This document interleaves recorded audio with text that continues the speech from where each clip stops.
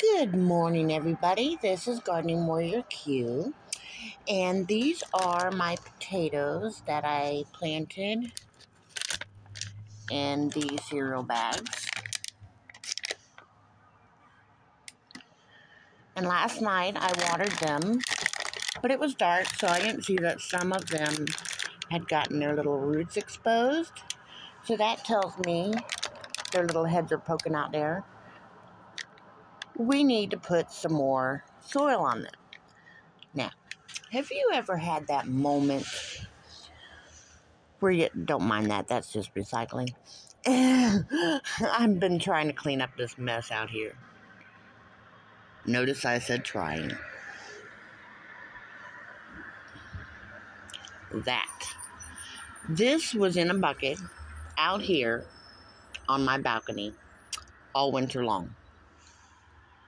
And what this was was a bucket I apparently had planted some sweet potatoes in to grow slips and forgot them. Or somehow they got shuffled outside and they weren't supposed to be outside, so of course they froze, they got snowed on, they disintegrated. Which means this soil is nice and rich.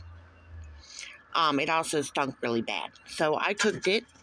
Um, but that doesn't, you know, take out the nutrients of the fact that there's all this great stuff in here.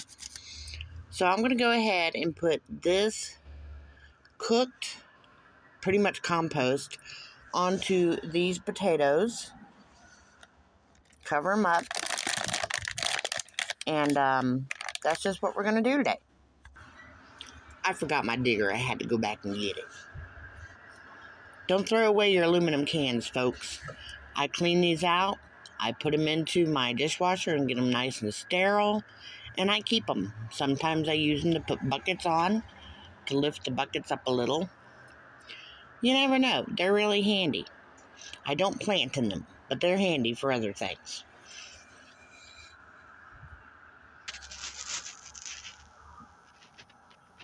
All right, so I try to do that um, and record, but there's just no way that happened. What you want to make sure is that your tubers are never showing their roots.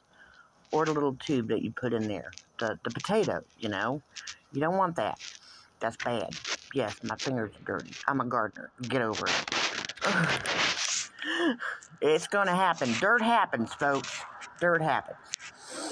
So I've covered every single one of those with that nice, rich pretty much compost.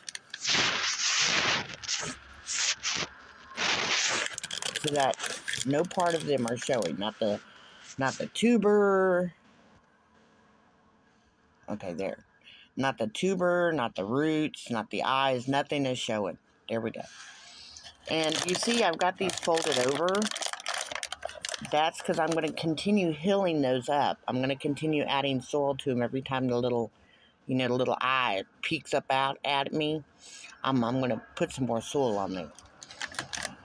So that's why. And these are nice long bags. I think when I unrolled it, it came to about here.